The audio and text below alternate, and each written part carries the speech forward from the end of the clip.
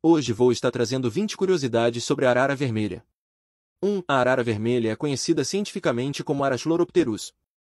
2. Elas habitam florestas tropicais da América Central e do Sul, incluindo a Amazônia. 3. Em cativeiro, podem viver até 50 anos ou mais, mas na natureza, sua expectativa de vida é geralmente menor.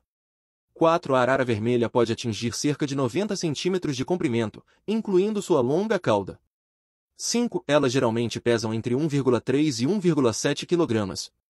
6. A plumagem é predominantemente vermelha, com manchas verdes nas asas e uma parte inferior das asas e cauda azul.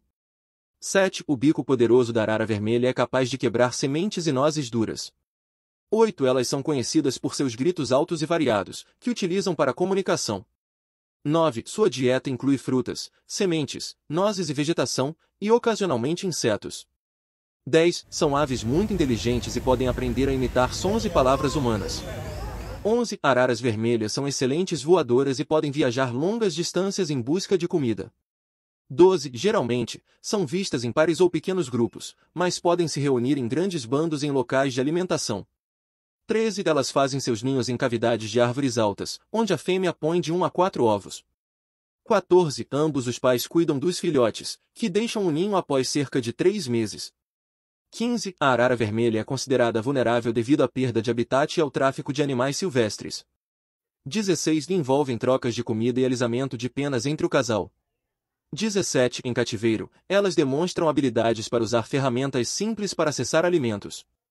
18. Embora não sejam aves migratórias, podem se deslocar sazonalmente em busca de comida.